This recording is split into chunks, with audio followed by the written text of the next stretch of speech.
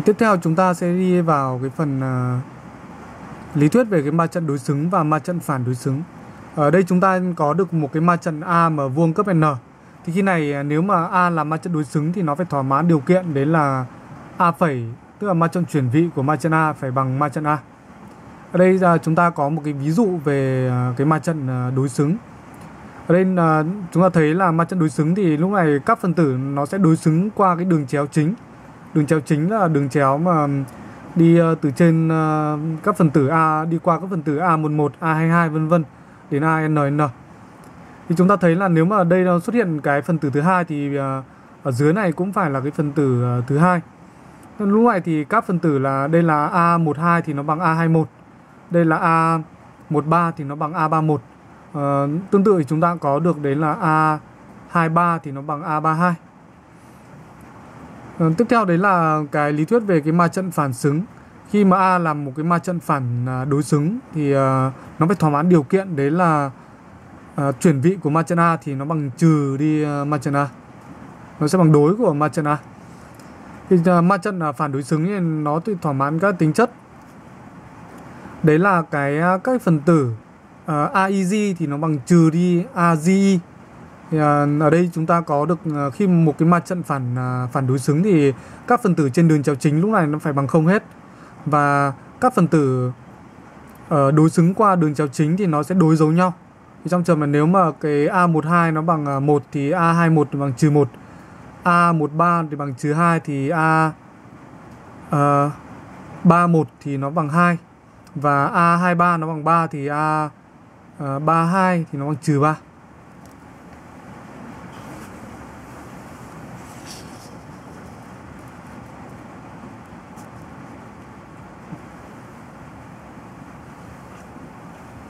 Cái phần tiếp theo chúng ta đi đến một cái vài à, cái ví dụ à, về các dọn toán nâng cao à, mà chúng ta có thể gặp trong các đề thi và hầu hết thì đây là, đều là các dạng toán mà anh đã sưu tầm từ các đề thi của các khóa ở trong ví dụ 1 thì đề bài yêu cầu bắt chúng ta tìm cái ma trận A mà cấp 2 x 2 sao cho A bình bằng E.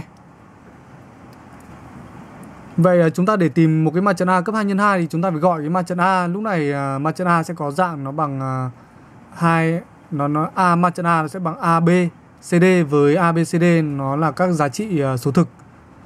Và khi này thì chúng ta bình phương ma trận A lên thì chúng ta có được đấy là A BCD mà nhân ABCD thì lúc này nó chính là một cái ma trận. Chúng ta lấy A nhân, A dòng dòng thứ nhất của ma trận A nhân với là cái cột thứ nhất của ma trận A thì chúng ta có được nó A bình cộng BC. Thì chúng ta lấy cái dòng thứ nhất mà nhân với cả cái cột thứ hai thì chúng ta sẽ thu được nó bằng A nhân B mà cộng với cả B nhân D hay gộp lại thì chúng ta có được B mà nhân với A cộng D. Và tương tự thì chúng ta lấy dòng thứ hai mà nhân cột thứ nhất thì chúng ta có được thì nó bằng C nhân A mà cộng với cả D nhân C. Hay à, gộp lại chúng ta thu được C mà nhân với A cộng D. Thì tương tự chúng ta có được cái, cái phần tử cuối cùng trong cái ma trận A bình nó chính là bằng D bình cộng BC. Và chúng ta phải đi tìm cái ma trận A sao cho cái A bình bằng E mà ma trận E thì nó nó là ma trận đơn vị cấp 2 và ma trận đơn vị cấp 2 thì có dạng 10 và 01. Vậy hai ma trận bằng nhau thì tất cả các phần tử à, uh, tương ứng của nó phải bằng nhau. Khi này thì chúng ta có A bình cộng BC thì nó phải bằng 1 và D bình cộng BC thì nó phải bằng 1. Vậy chúng ta có được cái à, cái phương trình kép thứ nhất. Thì, uh, tương tự chúng ta có là B nhân A cộng D nó phải bằng 0 và C nhân A cộng D nó cũng phải bằng 0. Thì chúng ta có được cái phương trình kép thứ hai.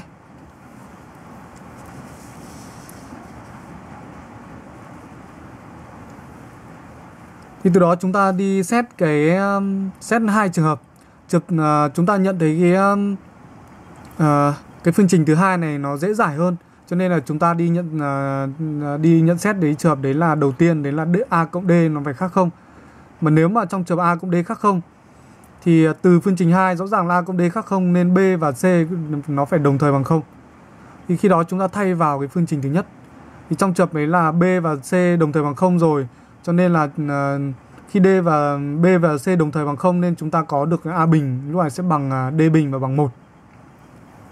Thì khi mà chúng ta giải ra thì chúng ta sẽ có bốn trường hợp nó thỏa mãn. Đấy là A phải bằng D bằng 1 này.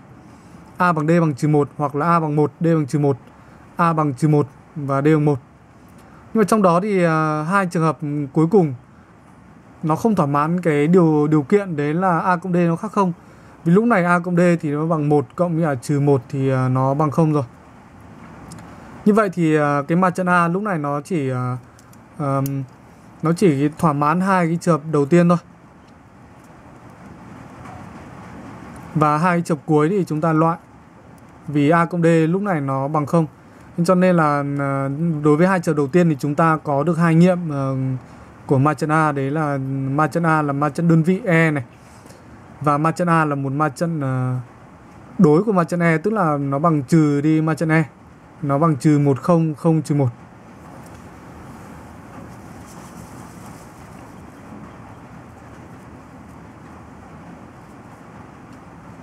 Thì chúng ta tiếp tục vào cái à, phần trường thứ hai thì trong trường thứ hai thì chúng ta xét cái um, trường đấy là a cộng d lúc này nó bằng không.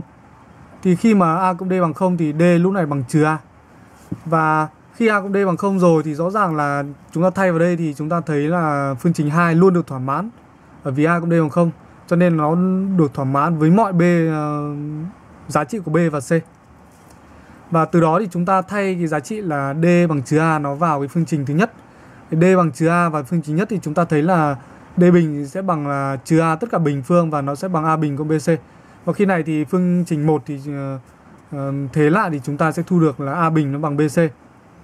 Và từ đó chúng ta thể kết luận ra được đấy là trong trường thứ hai này ma trận nó sẽ có dạng đấy là A này, B này, C này và D thì bằng trừ A. Và trong trường đấy là nó phải thỏa mãn điều kiện uh, của cái uh, hệ ở trên tức là A bình cộng BC lúc này phải bằng 1 và chúng ta đi ờ, kết luận ờ, tổng thể của bài toán. Thì chúng ta ờ, có được đấy là ma trận A thỏa mãn A bình bằng E. Và trong đó A là ma trận cấp 2 nhân 2 thì nó sẽ có các trường hợp. Trường thứ nhất là ma trận E này, trường thứ hai là ma trận trừ E và trường thứ ba đấy là một cái ma trận bất kỳ có dạng đấy là AB C và trừ A với cái điều kiện đấy A bình cộng BC phải bằng 1 và trong trường này thì ờ, chúng ta thể ờ, tìm được vô số cái ma trận A mà thỏa mãn điều kiện ờ, A bình bằng E. Thế từ đó dựa vào cái ví dụ một ở trên thì chúng ta có thể làm tương tự cho cái ví dụ thứ hai này. Đề bài yêu ở ví dụ 2 yêu cầu chúng ta tìm cái ma trận A mà cấp 2 nhân 2 sao cho A bình bằng cái ma trận A bình thì bằng cái ma trận 0. Và chúng ta làm tương tự thì ờ, chúng ta thể ra được cái kết quả là ma trận A lúc này nó là một cái ma trận có dạng đấy là AB, C và trừ A. Và trong trường hợp đó thì ờ, chúng ta cũng có cái ràng buộc đấy là A bình cộng BC phải bằng 0. Và do cái ờ, điều kiện này nên là chúng ta cũng thể tìm được vô số cái ma trận A nó thỏa mãn điều kiện là A bình nó bằng ma trận 0.